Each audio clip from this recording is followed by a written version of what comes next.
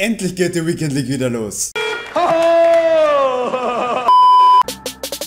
Servus Leute und herzlich willkommen zu einem weiteren Video. Ich bin's wieder, dieser eine Pato. Schön, dass du wieder eingeschaltet hast. Hi, wie geht's dir? Leute, endlich ist es wieder soweit, der erste Weekend League in FIFA 19. Alter, ich habe mich schon, beziehungsweise ich habe so eine heftige Vorfreude, habe aber noch kein einziges Spiel gemacht. Vor zwei Tagen, als ich gestreamt habe, war jedes Mal, kaum war ich nicht bei meinem Team drinnen, Zeig mal dein Team, zeig mal dein Team, Bipapo. Es war wirklich so oft. Und da habe ich mir gedacht, gut, ich zeige euch jetzt mein erstes Weekend League Team. Ich mache das jetzt diesmal nicht so auf spannend, Bipapo mit Karte verdecken, keine Ahnung was. Nein, ich zeige sofort mein Team mit meinen Anweisungen, mit meiner Taktik und so weiter. Guckt das an. Ihr kennt mich, Leute. Ich feiere es, wenn mein Team möglichst bunt ist. Ich habe hier eine Inform, zwei Ones to Watch, vier UCL-Karten. Ein Kartentyp fehlt mir noch in meiner Startelf. Das ist die Icon. Ich weiß immer noch nicht, welche Icon ich mir am besten holen soll. Dieser Brasilianer, dieser Sokrates. Aber da brauche ich erstmal die Münzen dazu. Aber so im Großen und Ganzen, was sagt ihr zu meinem Team? Schreibt mir auch gerne mal euer Team ran. Vielleicht interessiert es auch so den anderen in der Community, wenn die Leute eure Kommentare lesen. So, yo, okay Vielleicht nehme ich doch den Spieler, den der jetzt hat und so weiter. Das sind meine Super Subs, Lozano, Rodrigo, keine Ahnung, seitdem ich bei United war und Rodrigo mein Starspieler war. Ich weiß nichts verwende ich ihn sehr, sehr, sehr, sehr gerne, sehr, sehr häufig. Seine Bilanz ist zwar jetzt nicht sehr, sehr vielversprechend, aber trotzdem, die machen eigentlich die Sache richtig gut. Ihr wollt wahrscheinlich auch die Preise wissen, wie viel ich sie gekauft habe. Lozano 33,250. Mit dem bin ich ehrlich gesagt noch nicht so warm geworden. 7 Tore, 5 Vorlagen, liest sich zwar nicht so schlecht, aber trotzdem keine Ahnung. Dann haben wir Chris Moore 250.000. Ähm, da dürfte er jetzt eigentlich gestiegen sein, oder? Ja, also der ist auf jeden Fall schon gestiegen. Alle sind schon gestiegen, speziell die UCL-Karten, das zeige ich euch gleich. Und Lukas, ja, keine Ahnung, von denen, mh, hm, ich weiß nicht. Ich weiß nicht, was ich von denen halten soll. Viele von euch feiern den. Ich lese es ja, wie gesagt, auch in meinen Livestreams. Aber ich, mh, hm, keine Ahnung. Courtois ist mega guter Schlussmann. Jetzt, guck mal. Jordi Alba, 139.000 habe ich den gekauft. Und jetzt guck an, also der ist so krank gestiegen, einfach weil der nicht so oft angeboten wird. Da bin ich sehr, sehr froh. Am selben Tag, als die UCL-Karten rauskamen, habe ich mir die ganzen noch gekauft. Hier Sergio Ramos, 224.000 Coins, einer der besten Innenverteidiger. Varan, die UCL-Karte. Leute, das ist ein Biest, das ist ein Monster.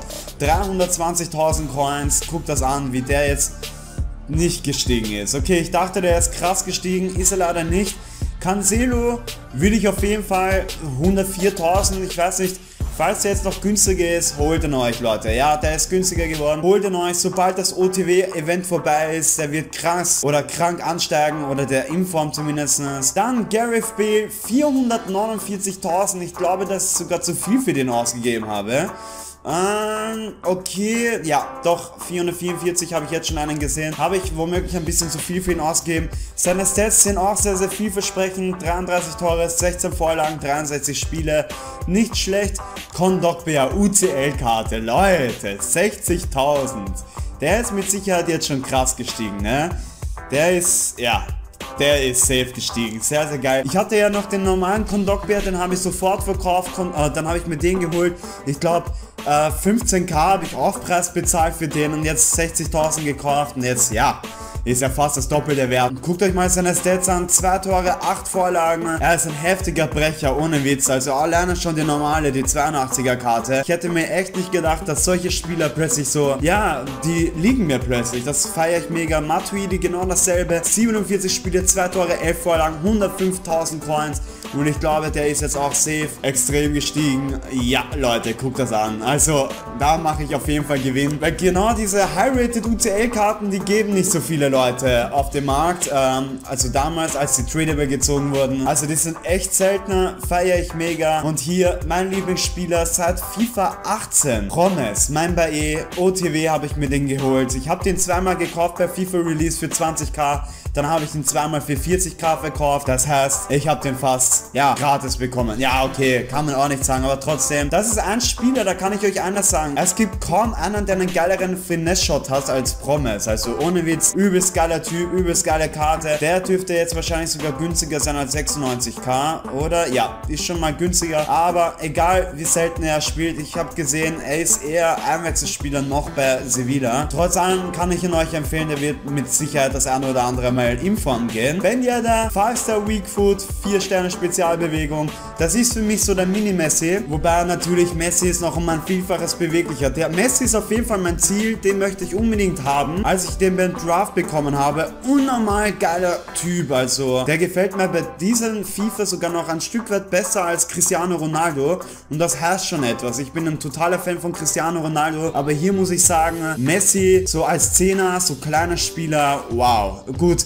Ronaldo und Messi kann man eigentlich eh nicht vergleichen. Messi kommt eher von, von der Zehnerposition, Ronaldo muss man da eher schon vorne spielen lassen. Aber hätte ich die Wahl zwischen Messi und Ronaldo, würde ich Messi nehmen. Was ist bei euch? Was ist mit euch? Würdet ihr eher Messi bevorzugen oder doch eher CR7? Interessiert mich. Schreibt das sehr, sehr gerne in die Kommentare. Ben Yedda, schauen wir mal. Ich habe den für 78 gekauft. Der dürfte, ja, ein bisschen was ist er gestiegen, aber jetzt auch nicht so die Welt. Mbappé habe ich mir zu teuer geholt. Das weiß ich. 405.000 Coins, 92 Spiele, 51,55 Euro Vorlagen. Ich muss einer sagen, der ist auch einer mit einem kranken äh, Finesse-Shot, obwohl er Fernschüsse 76 hat. Ich glaube, ich muss das sogar etwas ändern, dass er die Fernschüsse sogar raufgehen. Ähm, ich glaube, der Hunter ist das, oder? Ist das Hunter oder Hawk? Was hat Promise? Hunter. Okay, da geht die Schusskraft hoch. Was hat denn, was hat denn mein, mein Mbappé? Okay, Mbappé hat Sniper. Warum habe ich Sniper? Hm, Leute, könnt ihr mir mal reinschreiben, welchen Campstyle ich da am besten nehme? Ich denke eher, wo Schuss und Pass hochgeht. Glaubst du, werde ich das machen? Das werde ich dann danach ändern nach dem Video. Also so sieht mal mein Team aus. Hinterlässt gerne ein Feedback.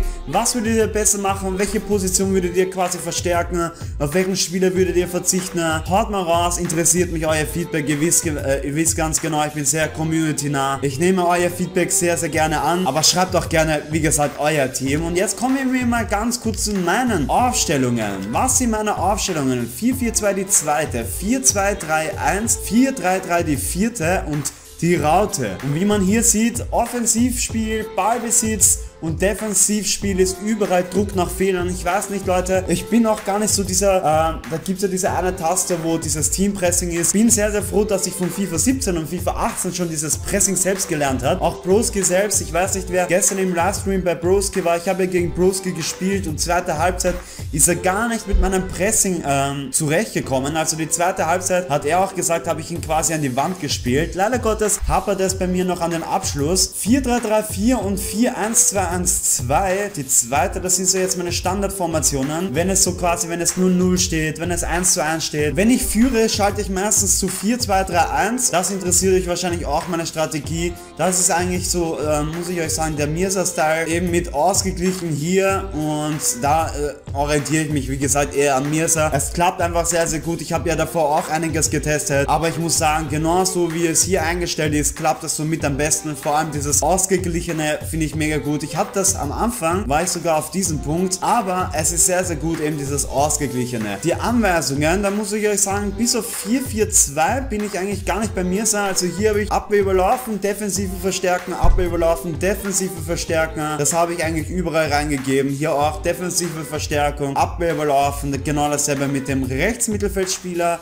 Mitte abdecken ist eigentlich somit das Wichtigste, was ich so bis jetzt herausgesehen habe, gelesen habe. Ich habe jetzt auch schon sehr, sehr viele Spiele gespielt und fand Mitte abdecken mit am besten mit hinten bleiben bei Angriffen und hier auch die Außenverteidiger hinten bleiben bei Angriffen und das habe ich eigentlich nur bei 4-4-2 die zweite und ich glaube bei 4-2-3-1 habe ich ebenfalls äh, diese Anweisungen. Ja genau, bei 4-2-3-1, also ja bei 4-4-2 die zweite und bei 4-2-3-1 habe ich eben quasi defensive Verstärken, Abwehr überlaufen, überall defensive Verstärken reingegeben mit Mitte abdecken bei den ZDMs und auch die Außenverteidiger hinten bleiben bei Angriffen.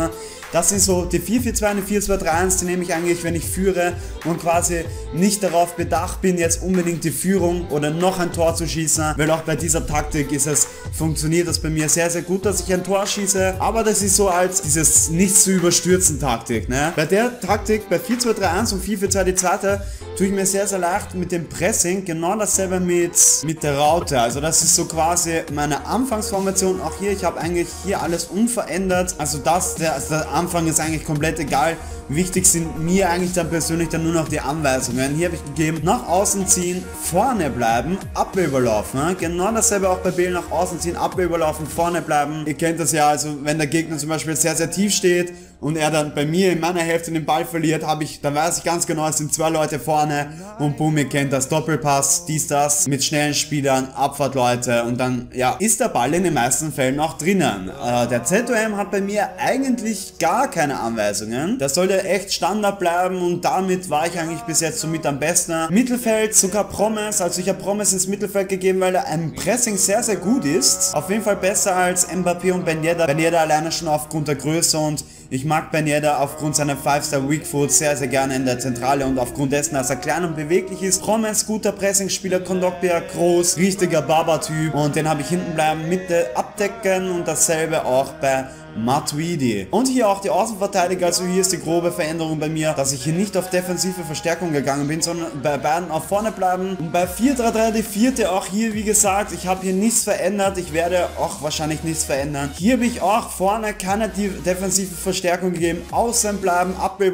zentral orientieren, Abwehr außen bleiben, Abwehr. Hier habe ich sogar alle Freiheiten diesmal gegeben und hier hinten bleiben bei Angriffe, Mitte abdecken. Hinten bleiben bei Angriffe, hinten bleiben bei Angriffe. Ich glaube, es gibt nichts besseres, Leute, dass ihr die Außenverteidiger hinten lässt und hier speziell diese heftigen Brocken, also die, wo ihr von Anfang an denkt, so, yo, die müssen die Abräumer sein, hinten bleiben, mit Mitte abdecken. Ich denke, damit seid ihr so mit am sichersten. Ich, ich habe schon echte Leichtigkeit mit Time Finish, Finesse Shot von außerhalb des Strafraums. Mein Problem ist noch, also ich habe ein persönliches Problem. Bei FIFA 18 habe ich den Ball quasi immer ins Tor getragen. Ihr im Livestream habt mich da immer kritisiert, womit ihr auch recht habt. Ja, jetzt habe ich aber die Probleme, in den Strafraum reinzukommen, ja. Ich arbeite momentan sehr, sehr viel auf Longshots. Ich habe mir auch noch das Spiel gegen Broske angeguckt. Also im Strafraum war ich kaum und wenn ich im Strafraum bin, gehe ich immer außerhalb. Dann gehe ich wieder raus aus dem Strafraum. Da habe ich auf jeden Fall noch Potenzial, mich äh, erheblich zu verbessern. Flanken. Ich habe unnormal Probleme auf Twitter zum Beispiel. Könnt mich gerne auschecken auf Twitter. Auf Twitter höre ich sehr, sehr, beziehungsweise lese ich sehr, sehr viel eben Flanken, OP und bla bla bla. Was macht ihr bei den Flanken? Was ist euer Geheimnis bei den Flanken? Ich habe sehr, sehr selten einen Flankenball oder ein Flankentor geschossen. Ne? Keine Ahnung warum. Ich weiß nicht, was da meine Schwäche ist. Da könnt ihr mich sehr, sehr gerne mal aufklären, was eure Stärken dahingehend ist. Auf jeden Fall, Leute, das war mal mein Video. Könnt mir gerne reinschreiben, wie findet ihr mein Team? Wie ist euer Team? Was würdet ihr hier verbessern? Wie macht ihr das mit den Flanken? Also diese vier Fragen. Ich weiß auch gar nicht, wie weit ihr mein Video geguckt habt, aber diese Fragen würde mich sehr interessieren und was mir auch sehr, sehr helfen würde. Gebt doch gerne einen Daumen nach oben. Solltet ihr neu sein, hinterlässt gerne ein Abo. Vielen, vielen Dank für euren Support. Ich wünsche euch einen schönen Tag noch. Morgen werde ich die Weekend League sogar streamen. Ich bin sehr, sehr gespannt, wie weit wir kämpfen werden. Ich werde direkt nach dem Video, werde ich auch schon ein bisschen beginnen mit der Weekend League. Ich wünsche euch einen schönen Tag, meine besten, schönes Wochenende und gutes Gelingen in der Weekend League. Ciao, ciao.